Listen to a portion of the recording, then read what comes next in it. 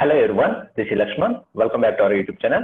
In the today video, I'm sharing you the most important asked HR entry questions for any programmer in any interview. Okay, so these HR entry questions for experienced programmer. Okay, the first question is, what programming language do you work in? And tell me your experiences using these languages and which one do you prefer?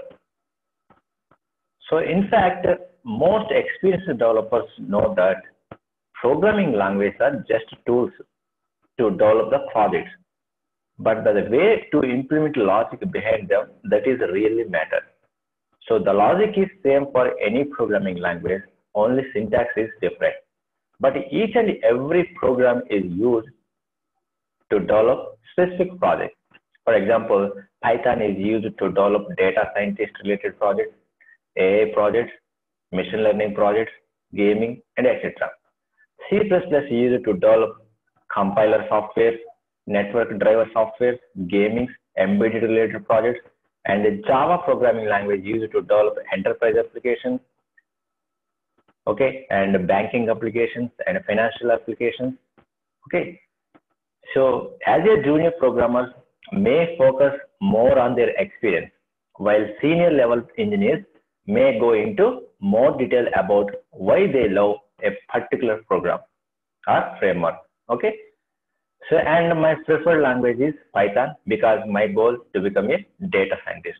So you have to say answer like this whenever they ask a question this one. Okay.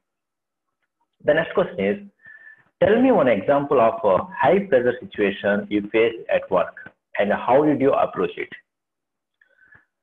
So programming is not always easy one. So it is a challenging role. So you might face high pressure situation during a project. So it might be timeline of your project. That means you have not completed the project in time. So by that time, the candidate should be the candidate uh, able to handle stress uh, during the deadline of the project. So in this situation, if the candidate able to uh, navigate a crisis smoothly and effectively, regardless of uh, who or what was to blame, okay, so they are likely uh, to steer all projects to success. So strong candidates will reflect on what they can do differently next time to handle the situation better or avoid the same problem. Okay. So the next question is, why are you interested working in this company?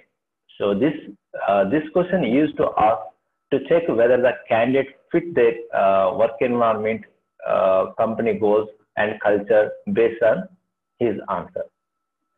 So that you should prepare best answer why you are interested to work with this company. And also show the interviewer that you don't want to any job and you want this job only. Okay. The next question is, what is the most important thing to look for when reviewing another team member's code? When reviewing a team member's code, it is functionality and how readable it is. That means, is this a, readable code or not? Is this secure code or not? Okay. Uh, is this code is simple or not? Okay. So there are a lot of unnecessary lines of code that need to be removed or rewritten. And the code is optimized or not. So you have to check each and everything like debugging skills and problem solving skills. Okay. While reviewing the code. The next question is, what is your process to test and find bugs in an application? Here, you have to prove yourself by show your knowledge on different debugging tools you are familiar with and tell your process to test and find bugs in the application. Okay. So what are the different tools you have used? You just show, you just uh, share your experience with them. How, what is our uh, styling working process to test and find uh, debugging. The next question is, how long uh, will you work with us? So for this question, don't say uh, straightforward onwards like one year or two years. You can say positive way. Uh, I look forward to serving this company for a long period. However, it has been my dream organization and job as well that I was looking for. Okay. So the next question is, how do you rate yourself on grounds of your skills required for this position? Okay, so you can say uh, on your uh, own answer, but I'm giving some sample answer here. On the scale of 1 to 10, I would give myself 8 for my technical skills and I will improve myself. So, and one more question I have not added here. So the, that is that might be a final question. Like, uh, do you have any questions for me? Okay, so we have to prepare uh, the answer also for that question. So these are the most popular HR entry questions for experienced programmers in any interview. Okay, so if you write, if you really like this video, please share to your friends also. Okay, and keep supporting us for uploading more videos and also hit the like button and also comment about this video on the comment section. So thank you for watching.